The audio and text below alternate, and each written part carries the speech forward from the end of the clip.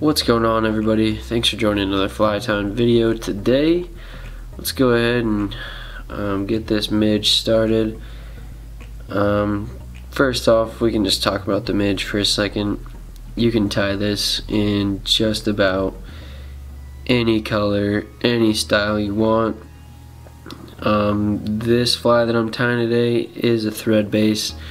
You can um, add a little more weight to it by um, doing a wire based body and just having touching wraps with wire and then rib it with some more wire, a different color.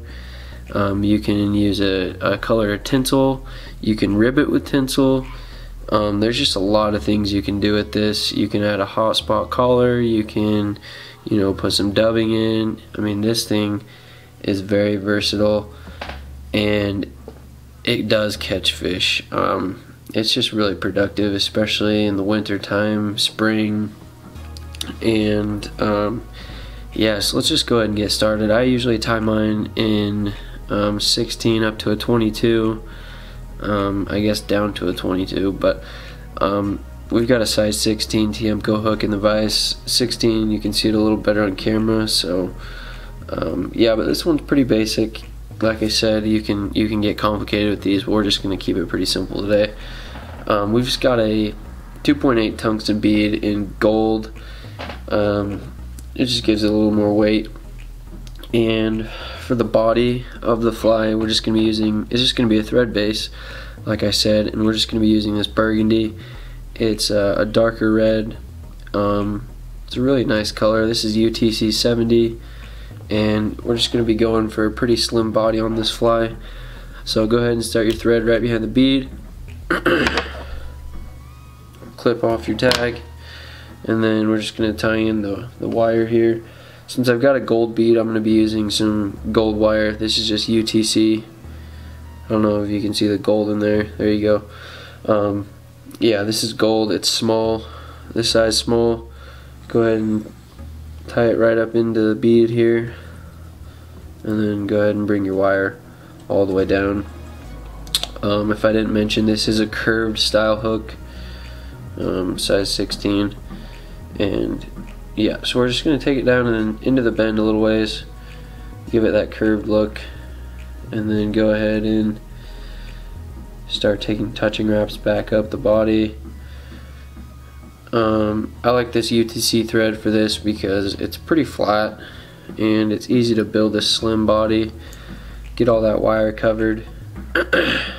So once you secure that wire go ahead and take touching wraps and form yourself a nice tapered body with your thread. So to taper it, I just like to come down to the point and then back up and go fourth of the way to the point and then back up. Build a little bit of thread base behind your bead. so we've got our body, pretty simple. Now we're just going to take our wire and this is when you want to take the most time is just getting those clean wraps. You can make them as close together as you want you can make them far apart. I don't think it really matters. I like them pretty close on my um, midges. I think it looks a little cleaner. So go ahead and rib that entire body. We're going to take this thread or this wire all the way up to the bead and once we get to the bead, go ahead and capture it with your thread. a few wraps behind it, a few wraps in front. Go ahead and helicopter. There, still got a piece sticking up. And then you can just kind of fill in the gap with some thread here so your bead stays secure. We do have a little piece of wire sticking up here. Won't matter, we'll coat it. So yeah, go ahead and build your thread up to behind the bead. My thread got caught, okay. So once you have a little bit of a color built, your ribbing looks good, that's it. That's the finished product. Go ahead, whip finish and then you can add some resin or some Zap-A-Gap to give it a little extra durability.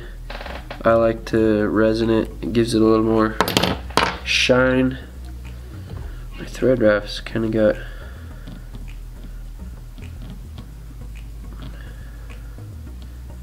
tangled up here.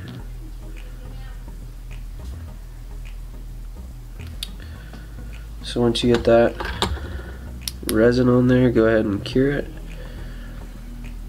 and that's it. Again, you can change up the wire, the thread, you can use tinsel, and I like blue, I like purple, um, I like your regular red, black, brown, olives. All those work really well, so feel free to really expand on these. Um, and they do catch fish, and they're really simple. Again, thanks for watching. Go ahead, like, subscribe to my channel, comment, and we'll see you next time.